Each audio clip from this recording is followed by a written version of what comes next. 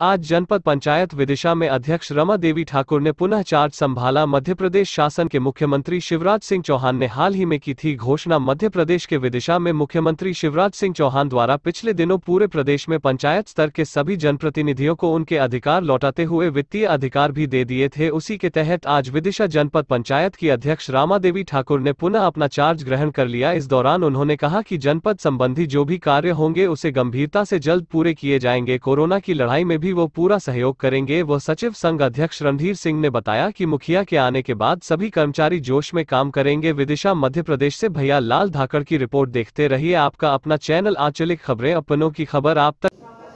हाँ अरुण पटेल। हाँ। अ, सरदुआ से हो ना? हाँ।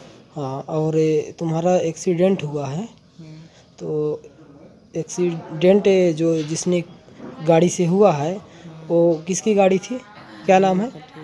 क्या नाम है? भीम पटेल। कहाँ का है? गंजास का। गंजास का? हाँ। और उसके साथ कुछ वो जो है तो क्यों चढ़ाया गाड़ी आपके ऊपर? विवाद विवाद रही होगी घर में क्या पता मेरे को। अच्छा आपकी बात भी बात थी। और जो है तो जब तुम जा रहे थे और वहाँ से गाड़ी आ रही थी है ना? हम्म, ऐसा है ना? तो उसने ऑटो आपके साइड में फेरा हाँ और उसको चढ़ा दिया आपके ऊपर। हाँ ज़बरदस्ती चढ़ा दिया। अच्छा उसका क्या नाम है फिर से बताओ? भीम पटेल। तुम्हारे ऊपर गाड़ी चढ़ाया है? हाँ ऑटो चला रहा था। अच्छा अच्छा। और उसने एक भी रुपए मदद नहीं किया। नहीं किया एक रुपया भी मदद दवाई में। नहीं किया। और ऊपर से धमकी भी देता है कि नहीं दूँगा तो क्या करोगे? हाँ।